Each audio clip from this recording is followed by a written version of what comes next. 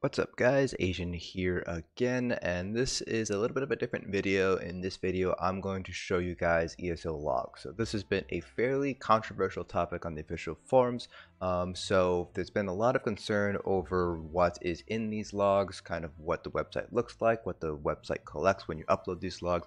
I figured I'd show you guys kind of the uh, how I've been using the website so far and give you a quick peek into um, the information that is actually within these logs here. So first, uh, in order to get onto the website, you do need to go to esologs.com, and then from there you can create a account here using your uh, email address, and then you can basically start uploading logs. So uh, there is a uh, extension that you do need to download in order to use upload logs. Um, so if you right. Uh, you guys can't see that because my face in the way here. Let me just quickly get rid of that. Alright. You guys can see here that I have made my account here and I have a couple of uh, guilds here. You'll see that there is a download here for the client that you're going to need to install if you want to upload logs to the website. So you just need to install this client and then uh, it'll be able to read any logs you have uh, and put them into your respective guilds here. And I'll show you guys what that client looks like in a little bit. You can see here that I am part of three guilds. Uh, so obviously I've been, I'm in Mayflower, and then I have Hellfire Dominion's War Council. Then I also have personal logs, which uh, I probably won't use. I'll probably just end up using these two uh, in order to differentiate my diff the different logs from each other. Let's actually go ahead and take a look at the logs that are currently in Mayflower. So first, uh, in order to create a guild, pretty easy. Uh, you just have to, uh, let's go here. Again, up here, you can just go create a guild or you can join a guild. So if you want to go ahead and join a guild, you do need to have a code so whoever created the guild will need to basically give out this code to people who they want to join that guild uh, otherwise, if you want to create your own guild, you can just go to create a guild, create your guild name, the faction, the region, the realm, uh, which is basically just a mega server. And then if you have like a Discord link you might want to share, if you're going to be, um, this is going to be a public guild, for example, but description of your guild, you can also put the, the, default rank. So this is anybody who uh, clicks onto the link for your guild, uh, this is the default rank that they have. It's either going to be applicant, a recruit, a member, or an officer. And obviously there are different permissions for all four roles here. Uh, so that's basically how you create a guild and if we go ahead and take a look at for example Mayflowers you basically have three options or I should say you have a couple of options here when it comes to uh, which guild. So you can see here this is the Mayflower uh, guild page here. We have the calendar which basically shows you uh, the different uh, logs that have been uploaded to this specific guild. So you can see we have probably going to be filling up Monday and Thursdays because that's when we typically raid. Um, so we have two logs from Monday night and we have Thursday night's run uh, log here as well. You can see exactly who uploaded it and whether it is private or not. So if you see this little lock icon here, this does mean that it's private. You can take a look at the specific reports by going to reports. Take a look at characters. There's currently no information in characters because all these reports are private. Um, but the characters can be claimed. Uh, so if you create an account and you upload a log, that character name will be claimed by you. Then you have settings, uh, which you typically are not able to uh, adjust if you're not the guild master here. So you can see the, the join code, the join code URL, if uh, the guild master allows you to share that. Stealth mode, so this basically says that if the guild uh, exclusively has private logs, so all of your logs are private and can only be viewed by the guild itself, uh, you can enable this mode to basically prevent any personal logs uploaded by guild members from rankings. So the idea behind this website is to provide some sort of ranking, mainly for dungeons because there's already a ranking system and leaderboard system for trials. Um, so this basically prevents people who leave the guild from exposing the guild's private logs in global rankings or on a character page. Uh, and then there's obviously uh, an attendance sheet, uh, which I'm not 100% sure exactly what this is. It just kind of just says, uh, continuously says loading data here for me sometimes. Rankings, uh, so there's not no rankings yet because this hasn't been implemented yet. Um, then there's obviously the Discord link if there is a Discord link uh, offered here. So you can set one here, but you do need to basically have a um, need to have the guild master's positions or an officer in order to create this Discord. So this is basically what the guild looks like. Um, so if we go ahead and take a look at uh, one of our reports, let's take a look at the Wednesday night report here. So this is what a report will look like. So it'll basically have all your encounters here, and then you have each individual boss. So we have Yolnak Kreen, Lokkestiiz, Nahviintaas. So this is only active on the PTS right now. So obviously we've been basically been doing um, Sunspire this whole time. So we have four fights here. So Yolnak Kreen, Lokkestiiz, Nahviintaas, and then we have Kreen on Vet Hard Mode. And you can see here that you can actually pick which fight you want to take a look at. So you have five fights from hard mode pull here. You had two fights with Nahviintaas. We had two fights with Lokkestiiz, and we only had one fight with Yolnahkriin, which is why we don't have a select all option here, or show all option. Then you do have some trash fights as well that are listed down here. Um, and then you can have all the encounters uh, just by clicking on this encounter link. So let's go ahead and take a look at uh, the Yolnahkriin fight here this is basically what the log will look like. So you do have a couple of different options here, and I won't be going through all of them. You guys can explore this. Uh, we, we, can't explore this uh, particular log, but you can upload your own log and explore it yourself. But all of it is very pretty intuitive. So you have all of your sort of summary statistics here. So damage done, damage taken, healing, threat, which is um, really just taunt, buffs, debuffs, deaths, interrupts, dispels, resources, and casts. So uh, and then you have basically all the members of your team here. So uh, you have the two tanks, you have eight DPS, you have the two healers here. You can see how much which how much DPS each person is doing on this fight. So you can see here that Riffle Inverse did the most amount of DPS here, followed by Octavio Per, and so on and so forth. You can see which damage is uh, your guys are taking. So you can see here Focus Fire did the most amount of damage see the healing done and you can see how, uh, what people died to who died in the fight and at what time during the fight that they died. So you can see here Stabby the Templar died from flare at 50 seconds into the fight. If you go ahead and hit uh, and hit the plus button here. Uh, so you, then you can see that you, there's a lot of different things you can click on. So you can click on each individual's name and it'll pull up the specific information for that person's name. Let's go ahead and click on my name here and it'll basically show you what my bars are what my gear was, uh, and then damage done by ability, healing done by ability, damage taken by ability, if I had any deaths here. And this is all sort of graphed out here too, uh, right here. They can see that you have different lines, and this is throughout the whole duration of the fight here. Um, so you have healing done, healing received, damage done, damage taken. This is under the summary tab. Now we can also go ahead and take a look at, let's say I want to know what sort of debuffs I put out. Go ahead over to the debuffs tab here. It will take a little bit of time in order for it to load. Then you can uh, put cast by friendly rather than gain by friendly. And you can see exactly which debuffs I, I threw out here. So you can see I had taunt and it will actually show you graphically uh, where your uptimes are at. So you can see engulfing flames was, I did a really poor job here. Um, so you can see engulfing flames is up only during these little bit of iterations. They don't line up directly here, but you can go ahead and click on engulfing flames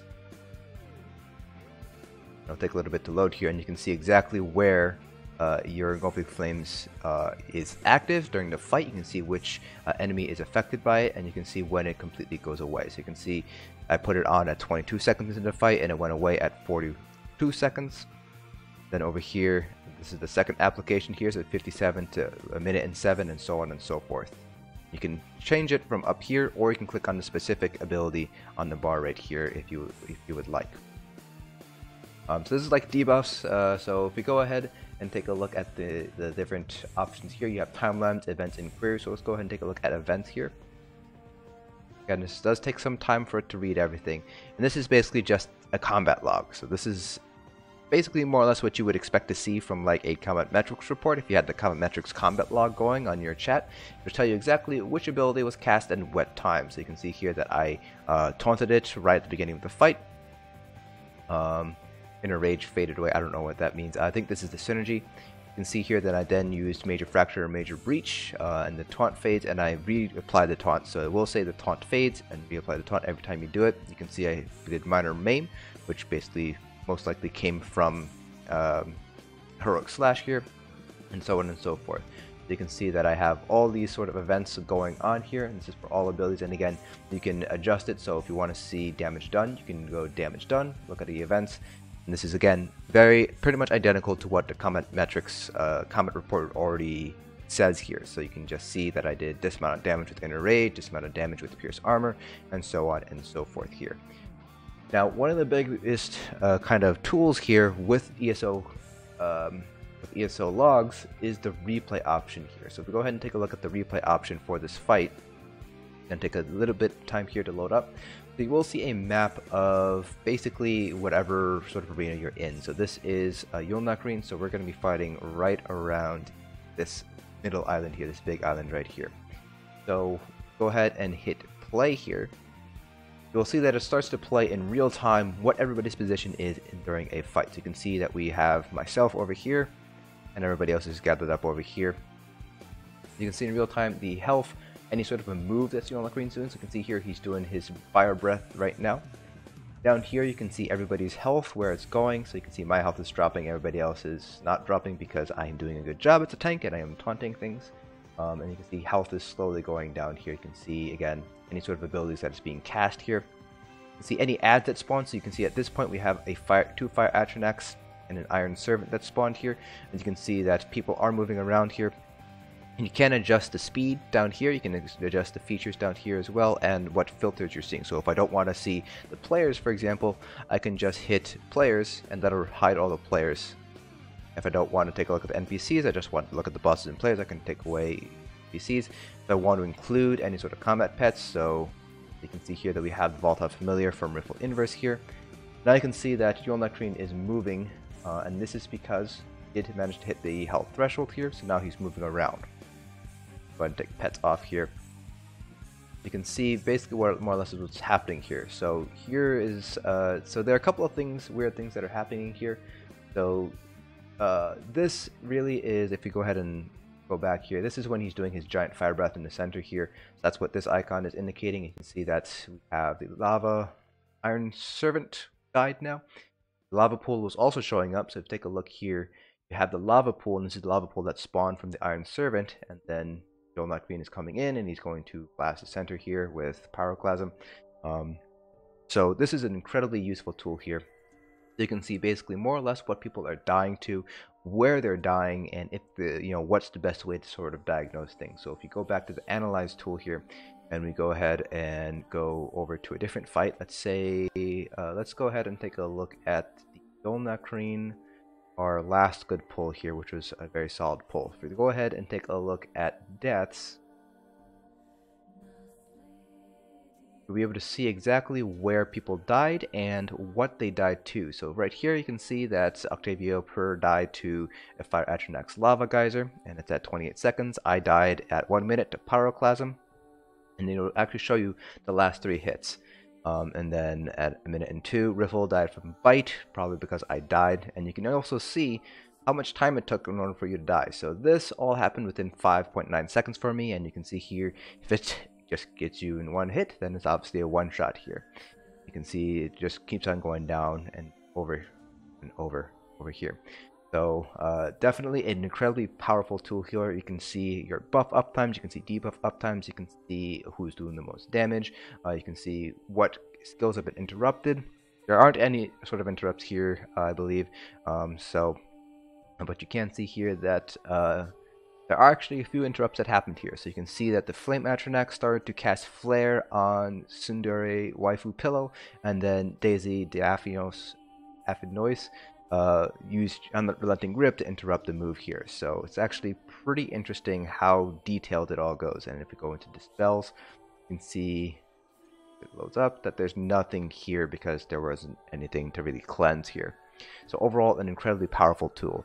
Now, the actual log file itself that it's pulling from, so let's go ahead and pull it up here, is, I don't go here, uh, nope, I believe I archived it, so I do have to go here, so it is under the PTS, so if you go to the ESO folder, right now it's only live on PTS, but once it's on live, you do have a logs folder on live as well. Go to PTS logs and it will be shown up here with encounter as the title. I mean, once you upload it, you have the option to delete it or archive it. So I decided to archive it and I will delete this folder eventually. You can see here that the file sizes are actually fairly large. So this is the uh, two hour raid, uh, about, about two hour raid or so. If you take a look here, you can see it's 263 megabytes. So it is a fairly large file, so you might want to use a separate hard drive, or you might just want to delete it after you upload it. So take a look here at the actual encounter log itself once it loads up because it is a fairly large file here. This is basically what it all looks like. It's just a basic, uh, lots of numbers here, uh, effects, uh, and, and just basically a huge slew of numbers. Now, it is possible to create something that'll be able to read these numbers. Um, for those guys who are concerned about your at names being shown up, it only shows up here on the actual log itself. And you can see that you have the character name and you have the at names here. So it connects your character name to your at name here. And this isn't really anything that can't already be kind of obtained already through current in-game tools. So you know the you can obviously gain somebody's uh, at name and connect it to their character name just by taking a look at Group Finder, your grouping tools, and taking a look there. So you uh, again this by itself is not incredibly useful. You do need to have some sort of tool in order to actually make use of this log itself.